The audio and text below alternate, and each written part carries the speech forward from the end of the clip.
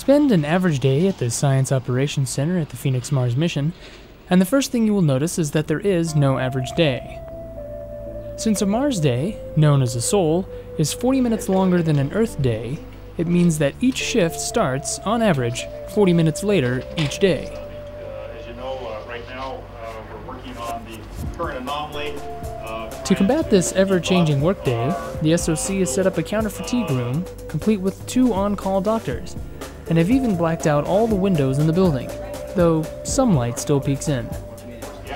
While the work schedule is somewhat regulated, It's all dependent on the MRO and Odyssey satellite passes, responsible for downlink and uplink to the Phoenix.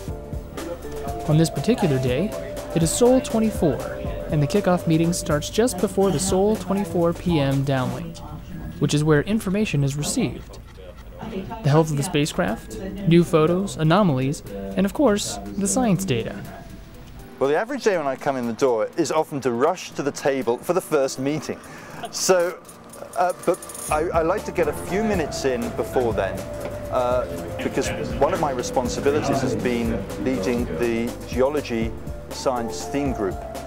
So the instrument teams work tremendously hard on downlinking their data, getting the data back from Mars and putting it into images. And they don't have much time for anything else. They'll determine what they want to do, and then representing the SSI as an engineer, then I can say, well, yes, the camera can do that, or no, it can't do that. We then get a chance to look at those images and if, we if we can think fast enough and get, come to conclusions fast enough, for the very next day, we can tell the ISEs, the, guy who, the guys who produce the code for the next day's operations, that this is what we'd really like to see.